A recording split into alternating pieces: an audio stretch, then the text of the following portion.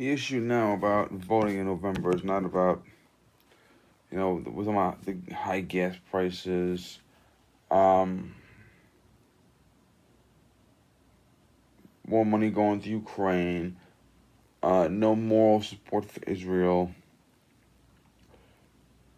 Here's the, it's not even about the dimension anymore because the issue was, are you willing to vote for the last segregationist who is very deep into dementia and who's obviously being controlled by everyone else around him to make him president.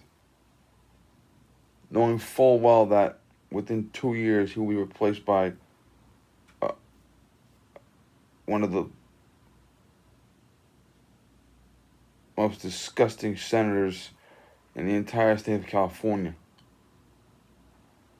Here's the question now Are you willing? To look five children in the face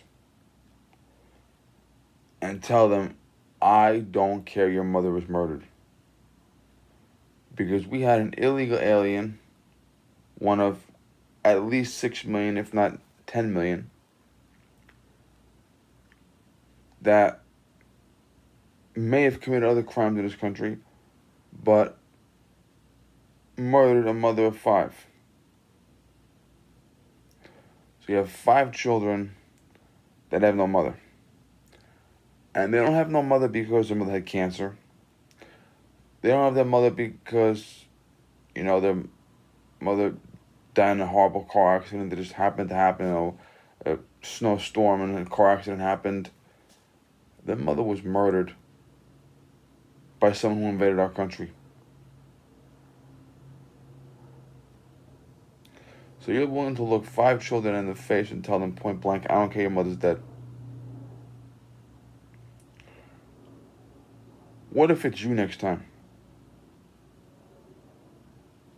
Okay, what if it's your mother? Or what if it's you? Or what if it's your sister? Or what if it's your daughter?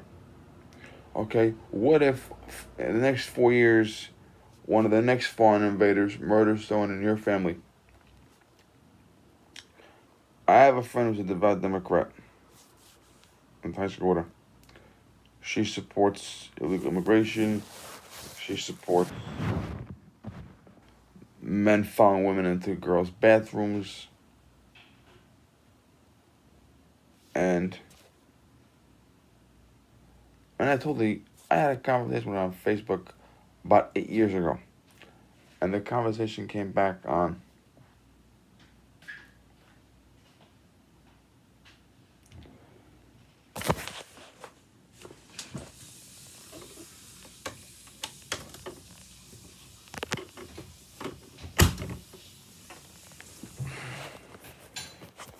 the conversation came back on Facebook Flashback, and I shared the conversation.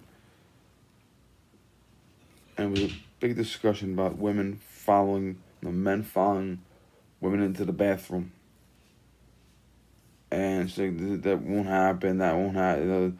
And I said, who's going to get raped? Men going into women's locker rooms, men going into women's bathrooms, who's going to get raped? And she said, that won't happen. Well, since that conversation, we've had a lot of rapes in the men's bath, women's bathroom, a lot of voyeurism in the women's locker room.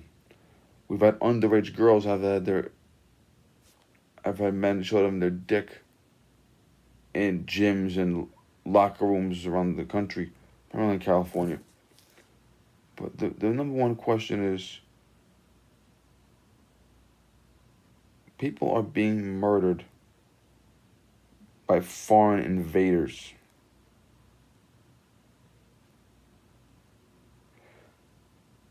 And if you're not willing to look a child in the face and tell them, I don't care, your mother's dead.